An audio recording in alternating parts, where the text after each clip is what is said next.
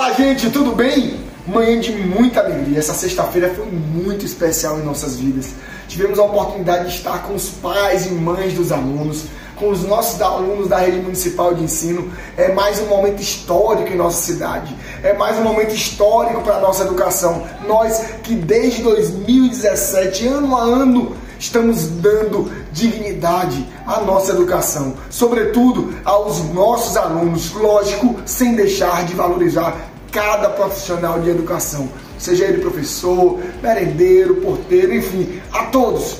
A gente tem dado muita prioridade à educação do nosso município. Somos a, a cidade que implementou duas escolas de tempo integral, escola militarizada, merenda de qualidade. Nós reformamos agora todas as unidades escolares do município, sobretudo as da zona rural, que também agora estão com ar-condicionado, certo? Ar-condicionado em todas as salas de aula, com uma pequena observação. A escola José Neri, suspendemos a licitação para fazermos um balanço, mas também passará por mais uma revitalização. Afinal de contas, lá no médio também tem o nosso braço, tem um braço da nossa gestão em melhorias de infraestrutura. Mas ainda vai muito mais, tá bom? Muito obrigado, Deus abençoe, o trabalho não vai parar. Podem ter certeza que o nosso compromisso é esse.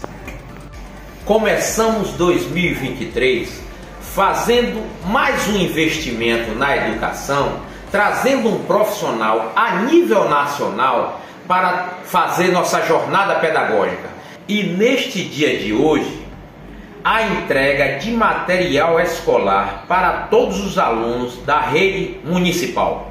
Estamos muito felizes. Hoje é um dia histórico na educação do nosso município. Acabamos de entregar aproximadamente 5 mil fardamentos para os alunos da rede municipal de ensino.